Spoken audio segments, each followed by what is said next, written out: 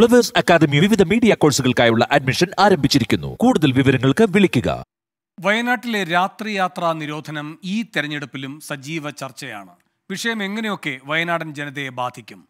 കേരള കർണാടക അതിർത്തിയായ മൂലഹള്ള ചെക്ക് പോസ്റ്റിൽ നിന്ന് കെ ആർ ഗോപികൃഷ്ണൻ തയ്യാറാക്കിയ റിപ്പോർട്ട് കാണാം. കഴിഞ്ഞ ഒന്നര പതിറ്റാണ്ടായി ഓരോ തെരഞ്ഞെടുപ്പിലും വയനാട്ടിൽ ഏറ്റവും അധികം ചർച്ച ചെയ്യപ്പെടുന്ന വിഷയമാണ് രാത്രി യാത്രാ നിരോധനം നമ്മളിപ്പോഴുള്ളത് മൂലഹള്ള വന ചെക്ക് പോസ്റ്റിലാണ് അതായത് കേരളത്തിൽ നിന്ന് കർണാടകത്തിലേക്ക് കടക്കുന്ന അതിർത്തി മേഖല. ഇവിടെ ഈ ബന്ദിപ്പൂർ കടുവ സങ്കേത മേഖലയിലൂടെ കടന്നു പോകുന്ന ഈ വഴി രാത്രി ഒൻപത് മണിയോടുകൂടി അടയ്ക്കുന്നു. പിന്നെ തുറക്കുന്നത് രാവിലെ ആറു മണിക്കാണ്. ഈ പ്രശ്നം പരിഹരിക്കണം എന്നാവശ്യപ്പെട്ട് നിരവധി നിവേദനങ്ങൾ പോയിട്ടുണ്ട്.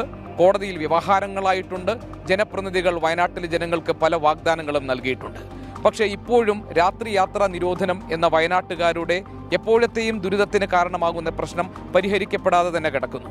കോഴിക്കോട്ട് നിന്ന് അല്ലെങ്കിൽ മലബാർ മേഖലയിൽ നിന്ന് വളരെ വേഗം മൈസൂരുവിലേക്കും ബംഗളൂരുവിലേക്കും പോകാൻ പറ്റുന്ന പാതയാണ് ഈ ദേശീയപാത എഴുന്നൂറ്റി അറുപത്തി ആറ് രാത്രിയാത്രാ നിരോധനം വന്നതോടുകൂടി ചരക്ക് ഗതാഗതം സ്തംഭിക്കുന്നു. ജനജീവിതത്തെ സാരമായി ബാധിക്കുന്നു. ഇവിടുത്തെ സമ്പദ് വ്യവസ്ഥയെ അത് ഇല്ലാതാക്കുന്നു. എങ്ങനെയാണ് ഈ പ്രശ്നം ഈ തെരഞ്ഞെടുപ്പിൽ പ്രതിഫലിക്കാൻ പോകുന്നത്?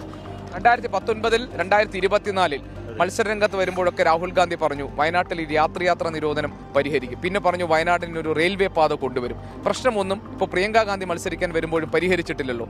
അവിടും വാഗ്ദാനം തരുന്നുണ്ട്. എന്തുകൊണ്ടാണ് വയനാട്ടിൽ ഈ പ്രശ്നം പരിഹരിക്കാത്തത്?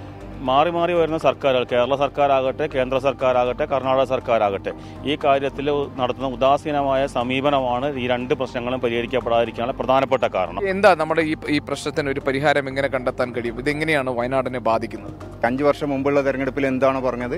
അതേ വാഗ്ദാനങ്ങൾ തന്നെ അടുത്ത അഞ്ച് വർഷം പിന്നീട് അടുത്ത അഞ്ച് വർഷം. ഇപ്പം പ്രശ്നത്തിനൊന്നും പരിഹാരം ഉണ്ടാകുന്നില്ല എന്നുള്ളതാണ് ഇതിന്റെ ഏറ്റവും വലിയൊരു പ്രശ്നം. അപ്പം നമ്മുടെ ജനപ്രതിനിധികളുടെയോ രാഷ്ട്രീയ പാർട്ടികളുടെയോ ഒരു ആത്മാർത്ഥത ഇല്ലായ്മ ഈ പ്രശ്നം ഇങ്ങനെ തുടർന്നു പോകുന്നതിന് കാരണമായിട്ടുണ്ട്. ഇപ്പോൾ കോടതിയിലാണ് കേസുള്ളത് സുപ്രീം കോടതിയിൽ കേസ് കിടക്കുക.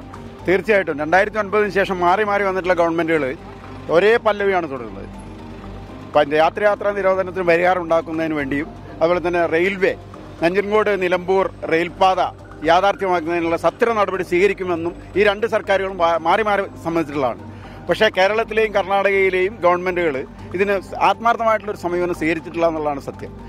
വോട്ട് ചെയ്യില്ലേ ഇത്തവണ? ആർക്കാ ചെയ്യേണ്ടത്? അല്ല വയനാട് വോട്ട് ചെയ്യില്ലെന്ന് വയനാട് വോട്ട് ചെയ്യും. ആർക്കാണ് ചെയ്യേണ്ടതെന്നാണ് ആലോചിക്കുന്നത്. ആ. അങ്ങനെ പറയാൻ കാരണം?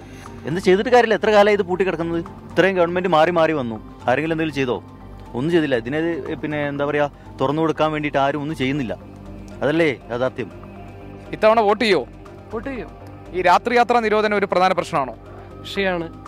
വിഷയമാണ്. പ്രശ്നമാണ്. ആ പ്രശ്നത്തിന് ഒരു പരിഹാരം ഉടനെ വേണം. ഒരൊറ്റ ദിവസം കൊണ്ട് ഈ രണ്ട് സംസ്ഥാനങ്ങളെയും ബന്ധിപ്പിച്ച് യാത്ര നടത്താൻ കഴിയുന്ന സൗകര്യത്തെ ഈ പുതിയ സാഹചര്യങ്ങൾ ഇല്ലാതാക്കുന്നു. അതിന് ശാശ്വതമായ ഒരു പരിഹാരം കണ്ടില്ലെങ്കിൽ അതിന് ഏറ്റവും അധികം നഷ്ടം അനുഭവിക്കുന്നത് നമ്മുടെ സംസ്ഥാനവും സംസ്ഥാനത്തെ ജനങ്ങളുമായിരിക്കും. അതുകൊണ്ട് തന്നെ ഈ തെരഞ്ഞെടുപ്പിൽ പ്രധാനപ്പെട്ട വിഷയമായി ഈ രാത്രി യാത്രാ നിരോധനം ഉയർത്തിക്കൊണ്ടുവരാൻ തന്നെയാണ് ആക്ഷൻ കമ്മിറ്റിയുടെയും നാട്ടുകാരുടെയും തീരുമാനം.